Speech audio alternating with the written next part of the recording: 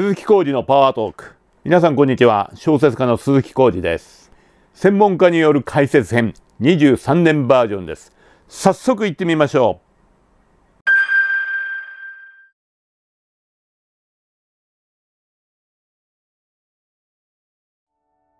う。大高美希です、えー、今日もですねえー、また続けて、元慶応大学教授の岡野邦子先生に詳しく話をお伺いさせていただきます。どうぞよろしくお願いいたします。え今日のテーマはですね、えフュージョン炉の要素技術ということで、まずは最初に、え先生の解説を、え見てみましょう。どうぞ。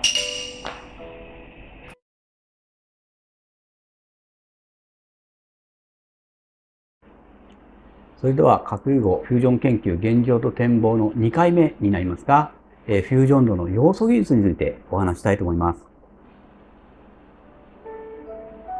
まず磁場方式のフュージョン炉の構造を少し、えイメージしてもらうためにこのスライドを用意しました。一番左にあるのはあの磁場方式のフュージョン炉の、まあ、断面を見せてる図ですが、この赤い D 型みたいなところが超電導コイルですね。で、黄色い部分が1億度のドーナツの型のプラズマということです。で、これを、まあ、このドーナツのプラズマと磁場のコイルだけを取り出したのが真ん中の絵ですね。これがイメージだけですけども、まあ、こういうふうに1億度の黄色いプラズマを、えー、超電導コイルのリングがぐるっと取り囲んでいるっていうのが非常に基本的な構造になります。で、さらにこのドーナツの取り囲んでいる磁場のコイルの一つだけの断面を取り出したのが一番右の方で、超電導コイル、赤い超電導コイルの真ん中に1億度のプラズマがあるんですが、その中間にブランケットという構造が、青い構造があるのがわかると思います。こういう基本構造をしています。で、この赤い超電導コイルで作った磁場で1億度のプラズマを閉じ込めるんですが、そこでフュージョンエネルギーを出して、そのフュージョンエネルギーはプラズマを取り囲む青いブランケットで受け止める。こういう構造になっているので、この3つのセットは絶対必要なわけです。次のページです。では、そのフュージョン炉の主な要素技術について、えー、この図で左回りに順番にずっと対応を取りながら説明していきますね。まず1番は超電導コイルです。赤い部分ですね。で、核融合のフュージョンの超電導コイルは何しろ磁場が強いということと、直径が10メートルを超えるような大型であるということが設計上のポイントなんですが、もう一つ、超電導コイルっていうのは、マイナス270度とか超低温に冷やすべきものですよね。それに対してその真ん中に1億度のプラズマがあるというのが設計の重要なポイントになっています。それから2番目は、もちろんこのプラズマ本体なんですが、プラズマを磁場で浮かしながら燃やし続ける、核融合を起こし続けるっていうことになるんで、これもポイントなんですけれども、もう一つ大事なポイントがあります。燃料はしっかりと磁場で閉じ込めたいんですけれども、燃焼でヘリウムの排気ガスが出ると申し上げましたよね。で、これをそのままにしておくと、どんどん燃料が薄まってしまうので、このヘリウムについては一生懸命廃棄しなければなりません。つまり、閉じ込めたいものと廃棄したいものが同時にいるっていうところが設計ポイントなんですね。次が右側の下に行って排熱部です。これは別名ダイバーターというような言い方をしますが、ここにはですね、プラズマからほんの少し漏れた熱や粒子が飛んでくるようになっています。でほんの少しと申し上げましたが、ここに全部集まりますと、これはね、もうロロケットノズルぐらいの熱負荷に、熱になっちゃうんですね。ですから、えー、その処理が、熱処理、冷却が大変です。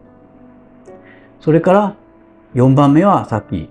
話にしたブランケットと言われる大事な構造です。ここは、まあ、大体10センチぐらいの距離を経て1億度のプラズマに直面している部分ですから、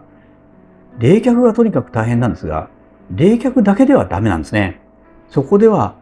えー、発電用タービンのための高温水とか高温水蒸気とか、あるいは高温ガスとかいったものも作らなきゃいけないんですね。で、加えて最初に申し上げたように、リチウムに中性子を吸収させて三重水素も作らなきゃいけないですよね。で、こういったいくつもの使命を帯びているのがブランケットで、しかも核融合の実用化には、これ、1、2、3、4、4つ言いましたけど、それぞれの同時達成が必要ということになります。では、一つずつ、ちょっとだけ詳しくご説明しましょう。超電導コイルです。超電導の材料というか、超電導になる材料は、もうイーターの建設で実績があるニオブス材の信頼性が高いと思います。で、実はこの超電導材、すごく強い磁場を出すので、自分が出した磁場で電磁力っていうんですかね、強い力を受けます。磁石で引っ張られるような力です。で、それによって簡単に引きちぎれてしまうんです。で、そうならないようにするには、超電導の線は構造材、まあ、例えば典型的なステンレスですけど、それで完全に周りを覆って埋め尽くして支えるということが必要です。この図の真ん中辺に赤い棒、玉と、それから青いバッグが書いてある四角い図があるんですが、これがまあ、超電導線の断面図みたいなもんで、超電導線は赤で書いてある丸い線、これが断面ですね。で、その周りをステンレスで完全にこういうふうに覆って、電磁力が発生しても全部ステンレスが支えるという構造にしないとちぎれてしまうんですね。で、この構造材がすごく大事で、あの、将来ですね、高温超電導みたいなのがですね、今言われてますが、そういうのもあればもちろん使いたいんですが、なんといってもまずはこの強磁場にするには、構造材の改善が先で、今、構造材の方がギリギリ、力でギリギリ、そんな感じになっています。で、このステンレスで覆うんですよねって言ったって、作り方を考えてもらうと、そう簡単じゃなさそうですよね。で、作り方は一番下に製造法って書いてあるんですが、上のプレートと下のプレートに、この超電導線がちょうど半分はまる溝をずっと掘っておいて、上下で挟む。これがイーターでやっていることですが、この作り方はとっても手間がかかるのでお金がかかります。で、例えばですが、将来的に安くするためには、線そのものを四角いステンレスの管で作っておいて、その四角い管をくるくる巻けば、まあ、それで万事 OK みたいになるかもしれませんね。で、これは次の原型料を使おうと今開発しているところです。ちなみに右、一番右に、あの、この赤の超電導線の実際の中身が書いてありますが、超電導線ってやっぱりもっと細い線の束になっている。そんな構造をしています。次にプラズマの話をしたいと思います。大事なことはイーターでの核燃焼プラズマを実現することです。で、フュージョンによる自己加熱、フュージョン自身で自分を温めることで1億度を維持する。それから燃焼灰のヘリウムは連続廃棄する。で、燃料は閉じ込めて連続燃焼維持。で、実は確実にできると思ってましたが、過去の実験にはなかった大きな転換点なんですね。過去で、え例えば JT60U は臨界を達成した、エネルギー源1を達成したと言いましたが、その時は外からパワーをいっぱい入れ、外からですね、外からパワーを入れて1億度維持して、で、時間が短いのでヘリウムを廃棄する必要もあまりなかったんですね。で、イーターではそれを連続燃焼するので、しっかりとヘリウムを廃棄しながら燃料を閉じ込めるっていうことをやらないといけないので、これはできるはずですけども、過去になかった大きな転換点になってきます。次が排熱部ですが、これはもう申し上げたように、すごい熱が来るので冷却が非常にポイントですけれども、一方で、そのもっと過剰な熱が来ないようにプラズマを制御していくっていうことも大事で、この制御はイータや JT60SA で試験していく、確認していくっていうことになっています。4番目が大事なブランケットですね。で、ブランケットっていうのは、このプラズマ、ここで赤で書いてあるんですが、この周りを覆っているような、え、構造物です。役割を思い出してもらうと、まずはとにかく冷却しないといけないけども、同時に高温水、まあ、高温蒸気、高温ガスといったものを発電のために生成しないといけないし、燃料も増殖しないといけないという、こういうたくさんの役割を果たす部分です。で、このその断面の一部を見てみると、なんかこんな構造をしています。でこのオレンジ色のループみたいな線は、これは冷却管、水が通ってる冷却管で、で、右の方に、そのに、その中、内部にいっぱい粒々が詰まってますよね。で、この粒々が、え一部がレチリチウムになっていて、ここで中性子を吸収して、トリチウムを三重水素を作る。で、冷却管はうまく配置してうまく冷却するという、こういった工夫が必要な構造になっています。このページはまとめですけれども、4つの要素技術に、まあ、非常に大きく分けてですが、4つの要素技術をご説明しました。で、実は一つだけが突出していても全くダメで、全体のバランスが重要なんですね。で、イーターと JT60SA と、それから今はスパコンを使ってですね、スーパーコンピューターを使ったシミュレーションなんかも使って開発を進めるということになっています。で、実は大事なポイントは、日本はこの要素技術の全部を持っているし、実現できる力があるんですね。で、こういう国は、国で、国レベルで言うと、実は少ないですね。例えばヨーロッパだったら全体では持っていますが、アメリカは正直言って持ってないと思います。で、もう一つ持っていそうな国が中国なんですね。日本はそういった中で非常にこう、いい技術を全部持っているということは忘れないでほしいと思います。以上です。はい、ありがとうございました。あの、なんか4つの要素っていうことでね、私もね、日本が持ってるっていうのはまあ全然知らなかったんですけど、これすごいことなんですね。えー、日本の技術は、あの、とっても優れているので、あの、核融合を作れるものを全部持ってると思いますね。はい。意外なのがアメリカは持ってないんですか？はい。アメリカは、えー、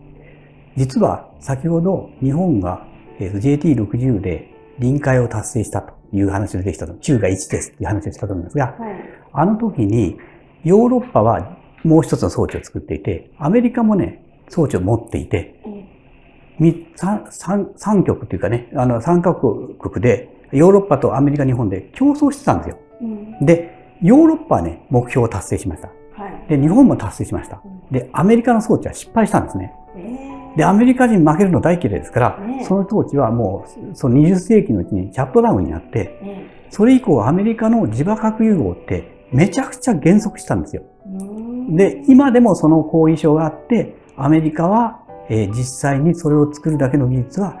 現実的な技術は持ってない国ですね。これ、これはアメリカに行ったら怒られちゃうかもしれないけど、現実として作れないと思う。特にブランケットができないと思います。へえ。で、意外なのは、中国もこの4つの技術持ってるんですか？あの、中国の実用は、実情は完全にはわからないけれども、うん、中国がイーターに参加したのは2000何年かなんですね。2007年ぐらいだったかな？なんですけど、その前から入りたい入りたいってずっと言ってて、その頃は中国は完全に、まあ、あの、西洋に対するキャッチアップっていうかな、遅れてるのは明らかだったんですけど、すごく頑張ってて、で、イーターに入ってからも、すごくイーターの技術を吸収しようとしていて、で、どんどん今、上がってきていてね。で、しかも、ああいう国だからどんどんお金を使って、つけて研究できちゃうので、いつまでもまだまだだねって思ってたらそろそろ追いつかれたかなっていうそんなイメージ。ああ、そうなんですか。はい、そもそもあんな盗人の国、なん、うん、学びたいというよりも、盗みたいというね、なんか思惑が透けて見えるような中国をなんで入れたんですかね？あのですね、うんと、ちょっとあの、中国、僕知ってる中国の人って科学者なので、はい、あのみんないい人ばっかりなんですよね。はい、正直言って。でも国としてはまた違うかもしれないけど、今のイーターの協力体制を見た限り、中国はとってもいいパートナーですね。あ、そうなんですか。はい、それはそういう意味ではロシアもとってもいいパートナーですね。えあの、というかもちろんですけど。国境がなくなるわけです。技術の。技術ではね。で、ただしイーターって、ほとんど全ての技術を共有するっていうことになってますから、は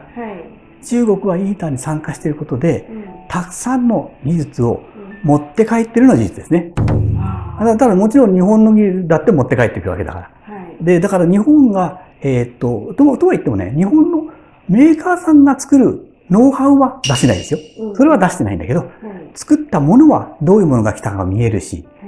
あの、どういう設計をしてるかも見えちゃうから、それはすごく参考になっているはずだと思うんですね。はい、で、実際に最初の頃は中国は、えっ、ー、と、もちろんそれぞれ役割があって、うん、超電導コイルも中国が作る分っていうのがあったんですよね。うん、で、作れないんじゃないのっていう悪口を言ってる人は少なからずいたんだけども、いたんだけども、一、うん、つも遅れずに納品してますから、ちゃんとできてるんですよね。